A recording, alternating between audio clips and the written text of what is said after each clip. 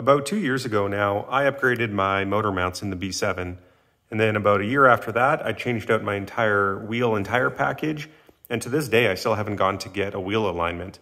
How do you think these things are related? And why am I waiting? Well, the answer is subframe alignment. Hey everyone, welcome back. And if you're new to the channel, thanks for checking me out.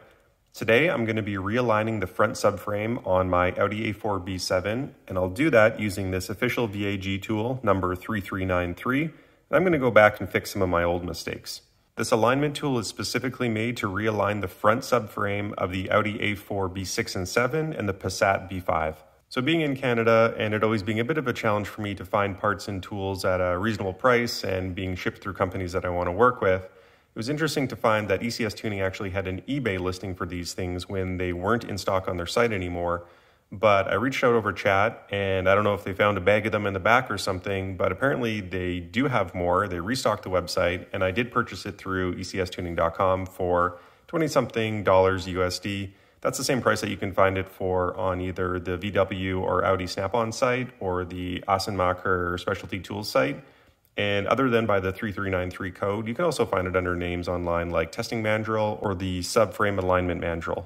Now, if you don't want to buy this, and because I'm such a nice guy, I'm going to give you the measurements in case you fancy yourself handy or maybe you have a friend who's a machinist and can make you one. I'm going to do this in millimeters, so deal with it. You can do the conversion later. But the diameter of the peg that actually goes through the alignment holes, we can call that 19 and a half millimeters. And the thicker part at the top that basically holds it into place, diameter, let's call it 22. And the length that actually passes through the alignment holes is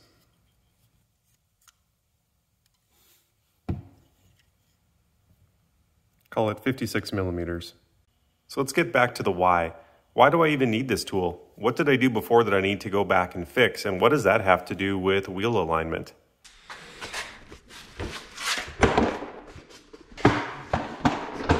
It all started with the work to replace my motor mounts. Here's the passenger side tucked up here, driver one right here. And to do that, you gotta drop three big bolts to get this bracket here disconnected from the subframe. Now, when I was doing the job, I was smart enough to notice the alignment holes because I said something like, but what I noticed is this hole up here, which does not actually have anything going through it ever, is a perfect alignment device. But I wasn't really smart enough to do anything about it at the time other than eyeball it and try my best. And honestly, looking at it, I think it's actually pretty good, but we'll test it soon. And the problem with not aligning these perfectly is that there's an effect downstream. When those three bolts come out of the front bracket, a few things happen. One is that the front of this is completely independently loose, so this bottom hole here is able to slide around.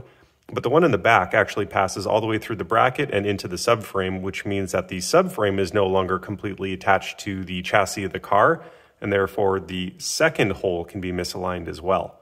The subframe's connected to the control arms, so that's exactly what can happen, especially the front one here.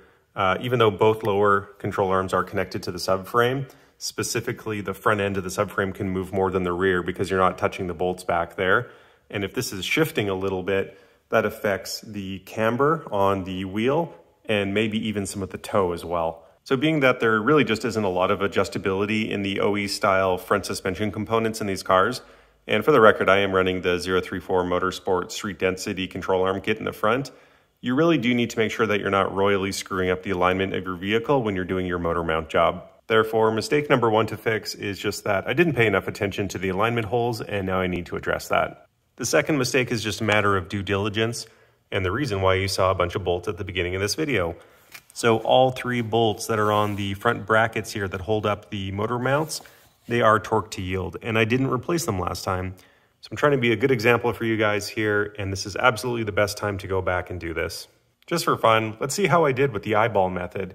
So keep in mind the entire goal is to match up with the master hole, the one attached to the chassis, the one that can't move. Let's see how I did lining up the motor mount bracket and the subframe. Alrighty.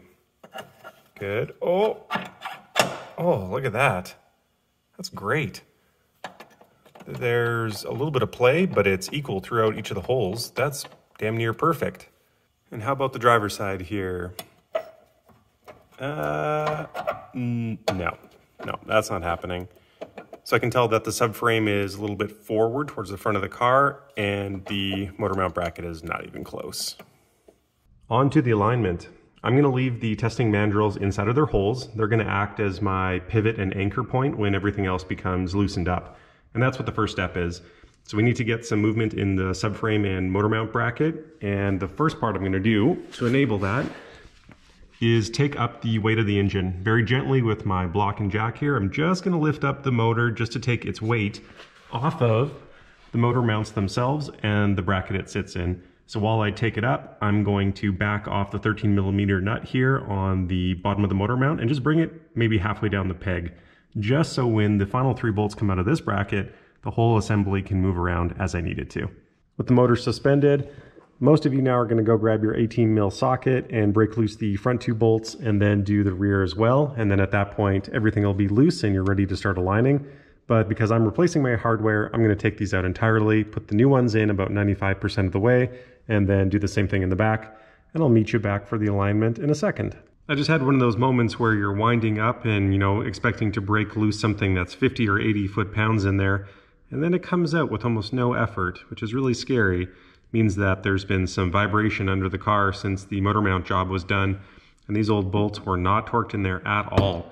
So I'm just making sure that I put in some blue thread lock on these new bolts. But I just wanted to stop and mention, I'm trying out this uh, Permatex medium strength gel based thread lock this time. And this container is actually really handy to use and uh, I like it a lot. I like how the gel is a little bit thicker and it doesn't run and drip through the threads. You can just kind of put it on like that and off you go. It's stuck there until you're ready to install. Now I'll just apply some pressure since the fresh hardware is in but not tightened down and I'll just wait until the tool drops into place. It didn't take long at all for the tool to fall into place, but it's still held in here pretty good with pressure, which tells me that the motor mount bracket and the subframe are still a little far forward.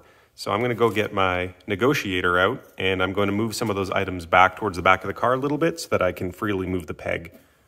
It took a tremendous amount of fiddling just to get the testing tool to fit this loose, but I'm going to stick with that. I'm happy and the passenger side still fits great just like it used to. So let's go ahead and torque down the bolts on the subframe. The big guy in the back goes in at 81 foot-pounds plus a quarter turn, and then the two smaller ones in the front, those are 55 foot-pounds plus a quarter turn. With the jack now removed, the motor mounts are now sitting firmly down into the brackets, so we can torque down that 13 millimeter nut to 18 and a half foot-pounds. And just like that, the job is done. Next time you go for an alignment, they should be thanking you for doing this project. Obviously, this isn't the sexiest project of all time, but I really like doing these little things. You can do it in a quick afternoon, and it's these small incremental changes that make your car just that much better. Thanks so much for watching. I truly do appreciate it. I actually have a project coming up again really soon on the B7 here that has something to do with the subframe and why I did this project first. I'm going to be bolting something to it. If you want to know what that is, consider subscribing and join me next time. Thanks.